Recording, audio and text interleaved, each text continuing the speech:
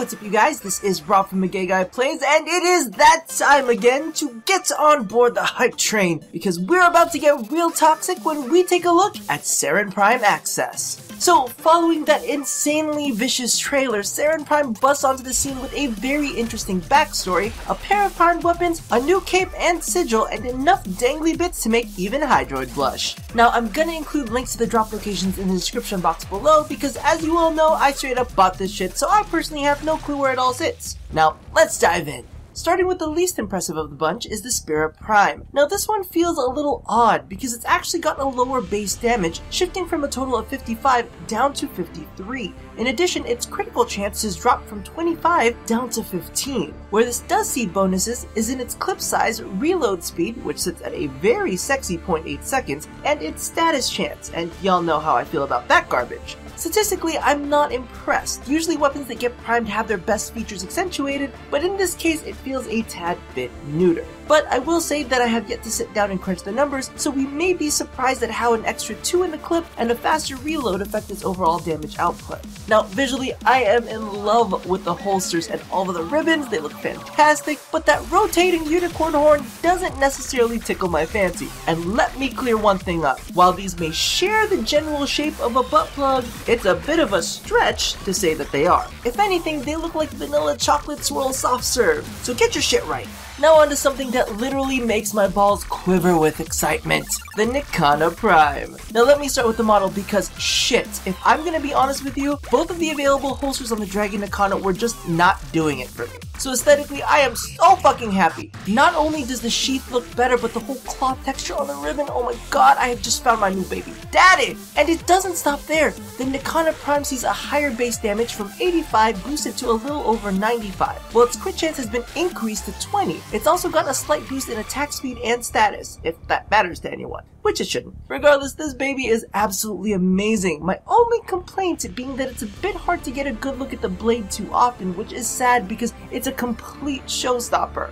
Now onto the woman of the hour herself, Saryn fucking Prime, bitches! Now statistically, she's got a boost in sprint speed while both her base armor and base power pool have increased by 50 points. She also gets an additional V slot, which is extremely handy as many of her builds revolve around duration or damage. As for the model, I will be honest with you, the initial color scheme was a bit hurt. However, with a few tweaks, you really get to see how badass she looks. While I love how her helmet flows into that mane of tentacles, I have to say that my favorite part is that damn skirt. It's got motion and those ridges that wrap around the front give her a really powerful silhouette. And for those freaky deaky enough, you can go fuck yourself on the back of her heels. Look at those things. Oh, you so good.